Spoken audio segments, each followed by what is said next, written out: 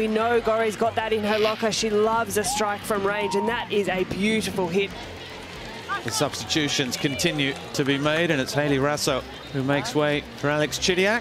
You know, going down early in the first half, it was tough, but we knew we had the belief in our team. And Chidiac does well. Gorry takes over.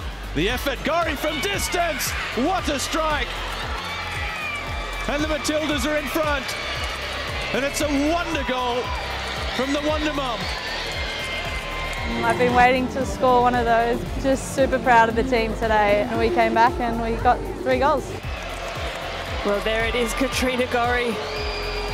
It's not like we haven't seen her hit him from that range before, and what a beautiful strike.